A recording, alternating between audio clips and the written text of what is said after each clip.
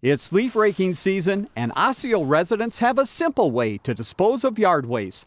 Walters Recycling and Refuse provides weekly curbside collection, which includes grass clippings, weeds, pine cones, acorns, and twigs, as well as leaves.